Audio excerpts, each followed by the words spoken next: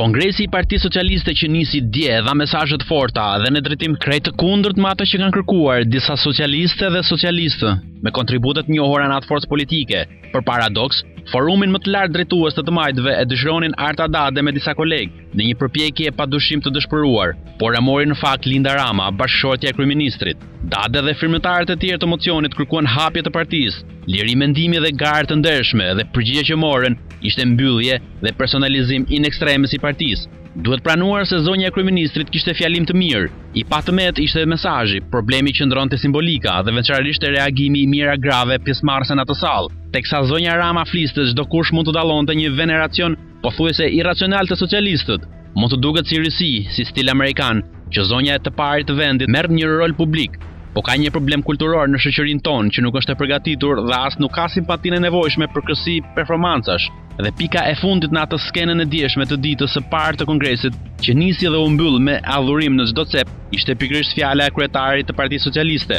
Ai i dha bashkëshortes atribute të jashtëzakonshme, si çdo grua do të ëndrronte, me fjalor e batuta të zgjedhura, Problemi është kur e shpalli atë opozitën e tij, dhe kjo është një gjë që vetëm ai e di, aspak e monitorueshme.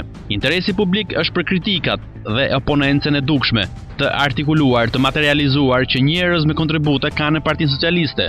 Ka gjithnjë në çdo kongres të PS përpjekje për të ngritur çështje që kanë të bëjnë me demokracinë, por qysh se Edi Rama e ka marrë në kontroll këtë forcë politike, hapësirat për debat dhe kritika janë ngushtuar nga viti në vit. Dhe sot gjendemi në fazën që e vetmja shmangie nga protokolli i ashpër Ngelen batutat e Edi Ramës me Gramoz Ruçin, i cili ky i fundit asnjëherë nuk e ka drejtën e replikës, por thjesht është dëgjues i mirë që di të buzëqeshë kur qesëndia arrin kulmin.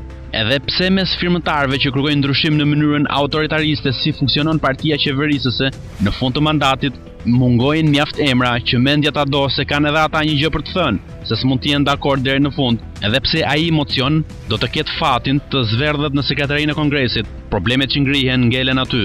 Ato janë probleme me të cilat herët a vonë socialistët duhet të përballen dhe ata kanë bërë mjaft hapa pas në këtë drejtim.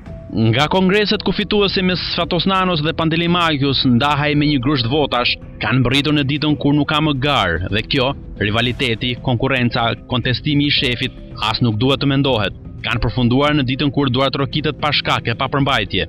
Kanë sosur në aty ku nuk ka më asnjë lloj llogaridhënie dhe bosi i madh jo vetëm që nuk kritikohet, por është i mirëpritur dhe i ecën karriera vaj kujtdo që ka talent të gjejë hiperbolat më të forta për të, si ato, Ai është Skënderbeu ynë!